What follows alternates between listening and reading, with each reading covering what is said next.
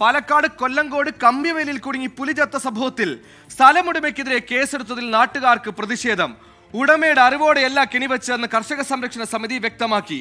കേസുമായി മുന്നോട്ടു പോയാൽ ശക്തമായ പ്രതിഷേധം സംഘടിപ്പിക്കുമെന്നും നാട്ടുകാർ പറയുന്നു.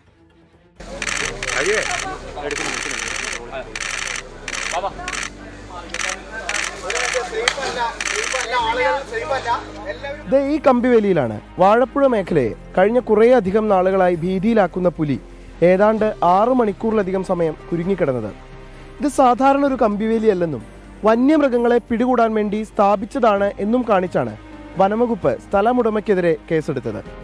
ഇന്നലെ പുലർച്ചെയാണ് വാഴപ്പുഴ സ്വദേശി ഉണ്ണികൃഷ്ണന്റെ പറമ്പിലെ കമ്പിവേലിയിൽ കുരുങ്ങിയ നിലയിൽ പുലിയെ കണ്ടെത്തിയത്. ആറു മണിക്കൂറുകൾക്ക് ശേഷം പുലിയെ പിടികൂടി കൂട്ടിലാക്കിയെങ്കിലും അല്പസമയം കഴിഞ്ഞ് പുലിക്ക് ജീവൻ നഷ്ടമായി. സംഭവത്തിൽ സ്ഥലമുടമയ്ക്കെതിരെ കേസെടുത്തിരിക്കുകയാണ് വനംവകുപ്പ് ഇപ്പോൾ പുലി കുരുങ്ങിയ കമ്പി സാധാരണ കമ്പിയല്ലെന്നാണ് വനംവകുപ്പ് വാദം. പന്നിയെ പിടികൂടാൻ സ്ഥാപിച്ച കെണിയാണെന്നും അതുകൊണ്ടാണ് പുലിക്ക് രക്ഷപ്പെടാൻ കഴിയാതിരുന്നതെന്നും വനംവകുപ്പ് പറയുന്നു. എന്നാൽ സ്ഥലമുടമയ്ക്ക് കെണിയുമായി ഒരു ബന്ധവുമില്ലെന്നാണ് നാട്ടുകാർ പറയുന്നത്. കേസെടുത്താൽ ശക്തമായ പ്രക്ഷോഭങ്ങളുമായി മുന്നോട്ടു പോകും.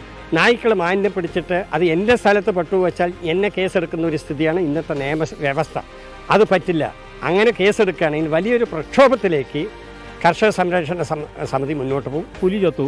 ഇനിയിപ്പോൾ നാളെ മയിലാണ് ചാകുന്നത്. അതിന്റെ പിറ്റേ ദിവസം മാനാണ് ചാകുന്നത്. ഇതിനൊക്കെ കേസെടുക്കാൻ നിന്നാൽ കർഷകൻ ഈ കൃഷിയും കൊണ്ട് എങ്ങനെ മുന്നോട്ട് പോകും എന്നുള്ളതാണ്.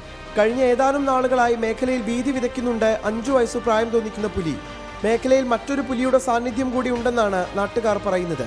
ട്വന്റി പാലക്കാട്.